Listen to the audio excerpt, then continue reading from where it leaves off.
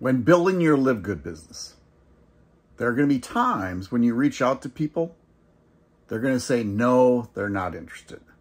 Or they might say something else that's kind of negative.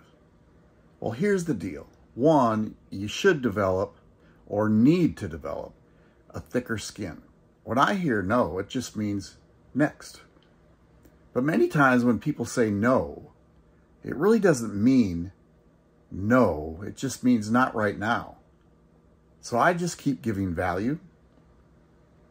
I keep teaching. I keep sharing positive things. And I know these people are watching. The people that say no, all it means is not right now. So when you're building your business and you're building Live Good, and when you hear no, one, keep the high road. Don't get into an argument. Don't say negative things to them.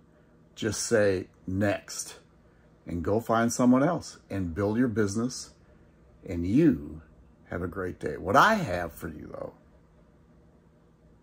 is I want you to go watch a video at marksfreetour.com and see if this business is for you. If you haven't heard of Live Good, it's an amazing business.